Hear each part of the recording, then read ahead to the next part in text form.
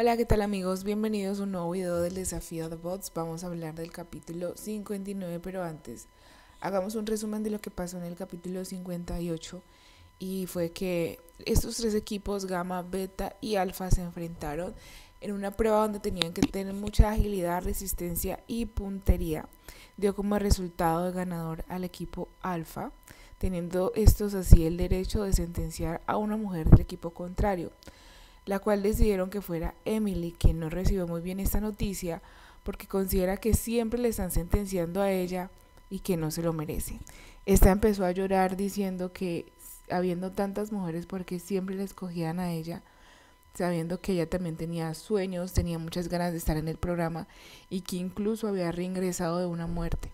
Yo quiero saber ustedes qué opinan de esto. ¿Será que Emily tiene razón o es un juego y pues uno sabe que tiene que estar expuesto en cualquier momento a que sea sentenciado. ¿Ustedes qué opinan de esto? Déjenmelo saber en los comentarios.